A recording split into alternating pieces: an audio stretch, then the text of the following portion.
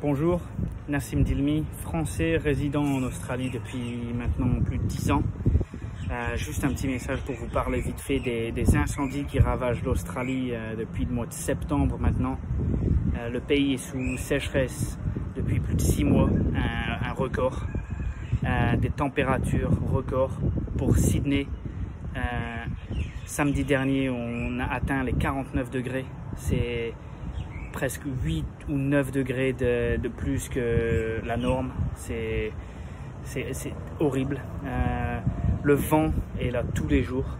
Pour la première fois en quelques semaines, nous voyons le ciel bleu.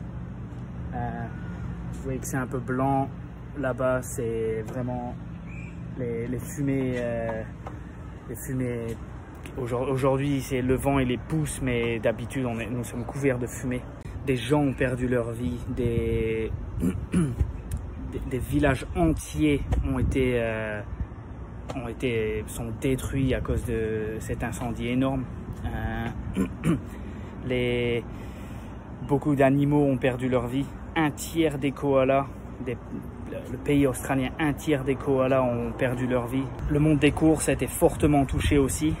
Euh, malheureusement, on a dû, on a dû euh, annuler beaucoup de meetings euh, à cause des, fortes températures, des, des, fumées. Euh, les fumées sont tellement toxiques, c'est vraiment pas bon pour les chevaux.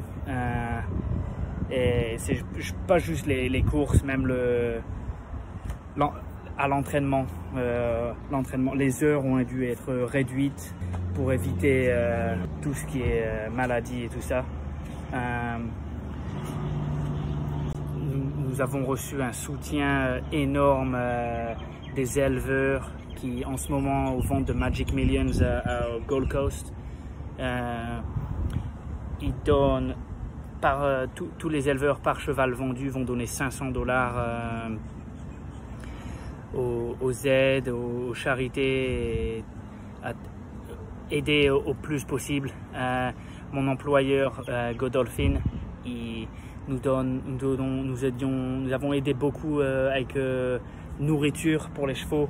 Euh, tous les jours, nous donnons beaucoup de nourriture à, ceux qui, ont besoin. des entraîneurs qui ont été fortement, fortement touchés près des incendies ont, décidé de fermer leurs écuries pour, pour aider les gens à,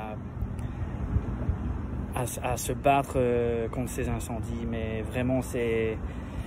Je n'ai jamais connu ça en 10 ans, mais des Australiens, ils n'ont jamais connu ça de toute leur vie. Donc, euh, on sait qu'on a un soutien énorme euh, tout partout pas des pays les plus proches, mais on sait que la France veut, aider aussi.